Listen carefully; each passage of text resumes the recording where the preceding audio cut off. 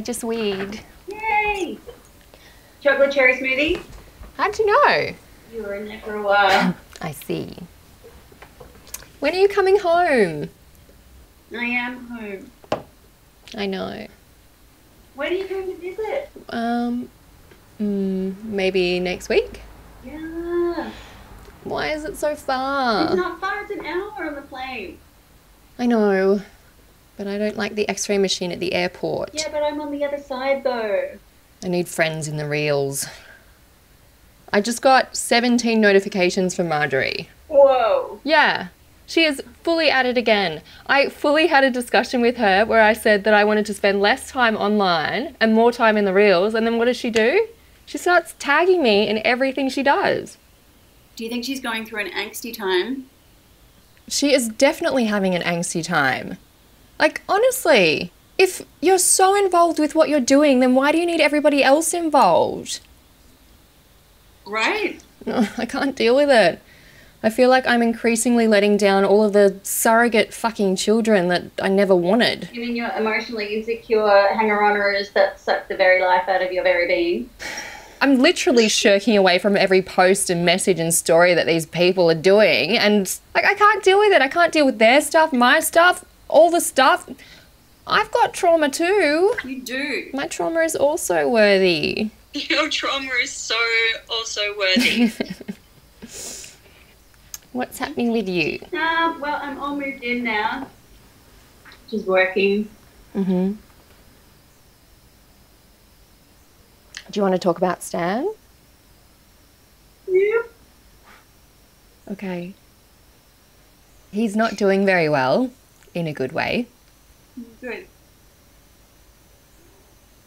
I bought a new bookshelf. Hey! Yeah, that's epic! That gonna be filled with all of your new self-help manifestos? Yes. But seriously, they really help. I'm proud of you. When I grow up, I want to be like Eb. Yay, and we can live in the same house. Look, it's Debbie.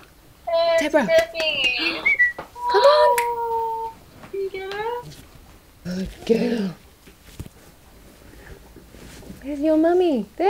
Hello. It's Mummy. Hello, darling.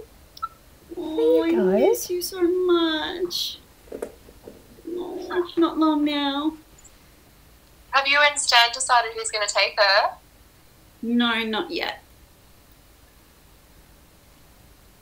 Hmm. hey, tell me more about what Marjorie's banging on about. Hmm. Ugh. I can't do Marjorie. Really? I feel a rant coming on. Do you need to stand? No. Sure. You always feel better when you stand. Okay.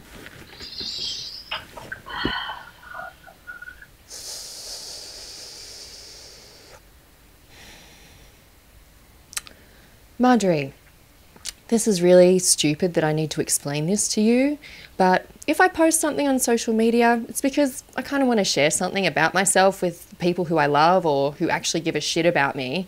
It's not that I'm doing it to make you feel like you're a bad person or that you're not doing enough. So I'd really appreciate it if you'd stop contacting me after it to ask me if I can give you a masterclass in whatever the fuck I've posted about in the first place. I'm really sorry that you have this anxiety disorder. It's not my fault, but maybe if you just took a step back, we could be friends again.